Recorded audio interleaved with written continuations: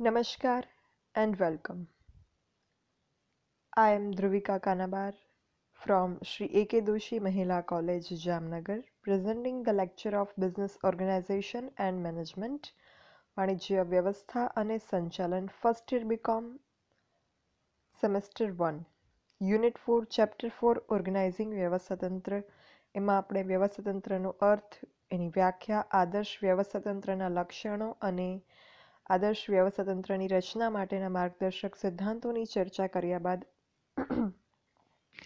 હવે આપણે વ્યવસ્થાતંત્રની પ્રક્રિયા અથવા તો વ્યવસ્થાતંત્રની રચનાના તબક્કાઓ વિશે વાત કરવાની છે. આપણે આયોજનના તબક્કાઓની પણ વાત કરી હતી, સંચાલનની પ્રક્રિયાની પણ વાત કરી હતી અને હવે આપણે આ ચેપ્ટરમાં વ્યવસ્થાતંત્રની પ્રક્રિયા કે વ્યવસ્થાતંત્રની રચનાના તબક્કાઓની વાત કરીશું.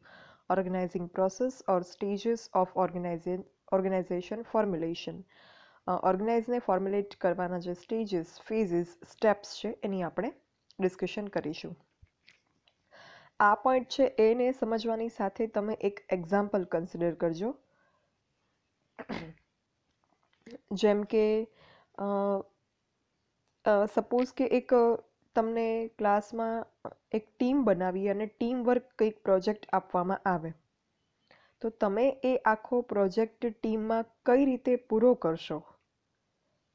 એની આખી જે પ્રક્રિયા હોય ને, એ પ્રક્રિયાની સાથે તમે આને કોરિલેટ કરી શકશો. એટલે આ સમજવાની સાથે તમે સાઈડમાં એક્ઝામ્પલ જે છે એને તમે જે છે એ મગજમાં આની સાથે કોરિલેટ કરવાનો પ્રયત્ન કરજો. તો તમને ઇઝીલી આ સ્ટેજીસ સમજાઈ પણ જશે અને યાદ પણ રહી જશે. First of all get clarity of objective હેતુનો સ્પષ્ટ ખ્યાલ મેળવવો. કોઈ પણ સાહસ હોય, એમાં ધ્યેય પ્રાપ્તિ માટે એ સાહસ જે છે, એની પ્રવૃત્તિઓ કરવામાં આવતી હોય છે, ટીમ એફોર્ટ્સ કરવામાં આવતા હોય છે. એટલે વ્યવસ્થાતંત્રની રચના માટે સૌપ્રથમ તો હેતુ વિશેની સ્પષ્ટ જાણકારી મેળવી લેવી જરૂરી છે. ટીમ વર્ક હોય તો એમાં તમારે સૌથી પહેલાં પ્રોજેક્ટ તમને બનાવવાનો હોય તો તમારે પ્રોજેક્ટ જે છે, શું બનાવવાનો છે, એ હેતુ સ્પષ્ટ કરી લેવાનો હોય. પછી list of works and its definitions, કાર્યોની યાદી અને એની વ્યાખ્યા તૈયાર કરવી. એકમમાં જે નક્કી કરેલ હેતુ હોય એને પૂર્ણ કરવા માટે જેટલા પણ કામ જરૂરી હોય. વસ્તુનું ઉત્પાદન ખરીદ કરવા માટે કાચો માલ ખરીદવો, વસ્તુનું માર્કેટિંગ કરવું એવરી પોઈન્ટ્સ જે કંઈ કાર્ય હોય, એ દરેક કાર્ય ચોકસાઈપૂર્વક થાય એ માટેની સ્પષ્ટ વ્યાખ્યા જે છે એ કરવી જોઈએ. પ્રોજેક્ટ બનાવવા માટે જેટલા પણ કાર્ય હોય એક્ઝામ્પલની વાત કરું છું, તો એ કાર્યોની યાદી તૈયાર કરવી, એટલે કે ચાર્ટ પેપર બનાવવું ચાર્ટ પેપર ઉપર લખવાનું કન્ટેન્ટ તૈયાર કરવું ડ્રોઈંગ્સ તૈયાર કરવા મોડેલ તૈયાર અગર કોઈ કરવાના હોય તો એ બધું. તો લિસ્ટ ઓફ વર્ક્સ જે છે એ બનાવવાનું હોય છે. એના પછી ક્લાસિફિકેશન ઓફ વર્ક કાર્યોનું વર્ગીકરણ અને કાર્ય જૂથની રચના. કાર્ય યાદી પરથી એક સરખા કાર્ય હોય એને સમાન જૂથમાં વહેંચી દેવામાં આવે છે, જેને વર્ગીકરણ કહેવામાં આવે છે કે વિભાગીકરણ કહેવામાં આવે છે. અને વિભાગીકરણ કર્યા બાદ સમગ્ર કાર્ય પ્રવૃત્તિને સંકલિત કાર્ય જૂથો વચ્ચે જે છે, સાંકળી લેવામાં આવે છે. એક સરખા કામ હોય, જેમ કે ડ્રોઈંગનું કામ હોય, તો એ જે છે, અલગ કરી નાખવું, એક્ઝામ્પલ.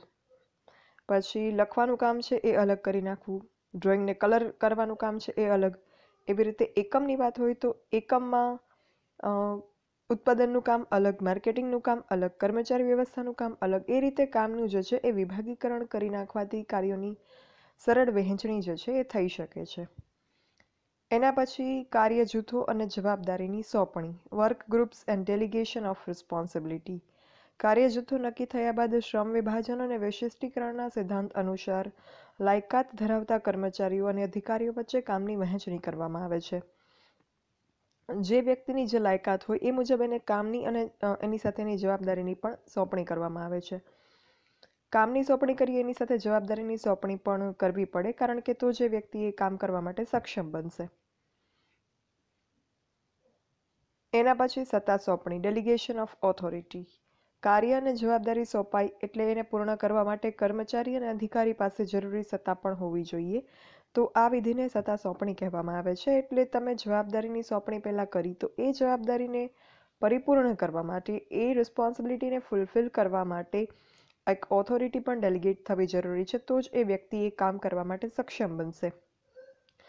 અને લાસ્ટમાં અધિકારી ફરજ વચ્ચે આંતરસંબંધોની સ્થાપના establishing interrelationships among duties of officers વહીવટીતંત્રના જુદા જુદા વિભાગો વચ્ચે યોગ્ય સંકલન રહે એ માટે અરસપરસના આંતરસંબંધો પણ સ્પષ્ટ કરવામાં આવે છે અને આ કાર્યને વ્યવસ્થાતંત્રના માળખા તરીકે દર્શાવવામાં આવે છે. કયા અધિકારી કોને જવાબદાર રહેશે, કોના પ્રત્યે કોનું ઉત્તરદાયિત્વ રહેશે એ નક્કી કરવું એટલે અધિકારી અને ફરજ વચ્ચે આંતરસંબંધોની સ્થાપના. જે interrelationships among duties of officer એટલે શું? કે એક સુપરવાઇઝર હોય, એની અંડરમાં કોઈ કર્મચારી કામ કરતા હોય, તો એ સુપરવાઇઝર જે છે, એ કર્મચારીને આદેશો આપશે અને એ કર્મચારી જે છે, એનું ઉત્તરદાયિત્વ બનશે એ સુપરવાઇઝર તરફ કે એ કામ એમણે કર્યું કે કેમ? એના વિશેની એમને રિપોર્ટિંગ કરવું કે અહેવાલ આપવો કે જાણકારી આપવી. તો આ થયું એમના વચ્ચેનું ઇન્ટર રિલેશનશિપ તો આ રીતે જે છે, એ આંતરસંબંધોની સ્થાપના કરવી, એ વ્યવસ્થાતંત્રની પ્રક્રિયાનો આખરી તબક્કો છે તો અહીંયા જે છે organizing process or stages of organization formulation એ પૂરું થાય છે that is all for this session for any doubts or queries you can write me on this mail dbk.dhruvika at gmail.com thank you